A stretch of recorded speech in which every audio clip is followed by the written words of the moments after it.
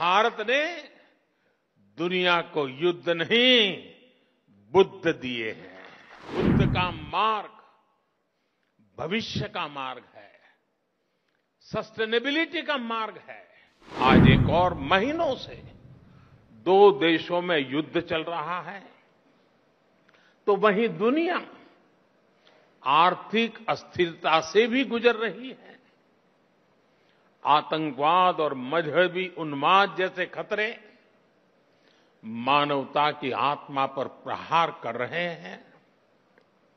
Climate change जैसी चुनौती पूरी मानवता के अस्तित्व पर आफत बनकर मंडरा रही है।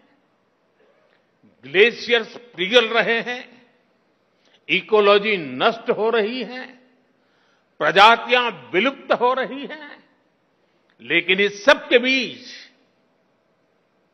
हमारे आप जैसे करोड़ों लोग भी हैं जिन्हें बुद्ध में आस्था है। जीव मात्र के कल्याण में विश्वास है। कुछ साल पहले संयुक्त राष्ट्र में मैंने गर्व के साथ कहा था कि भारत ने दुनिया को युद्ध नहीं, बुद्ध दिए हैं।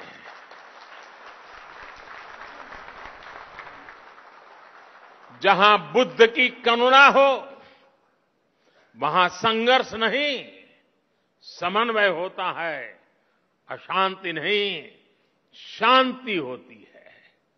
साथियों, बुद्ध का मार्ग, भविष्य का मार्ग है, सस्टेनेबिलिटी का मार्ग है।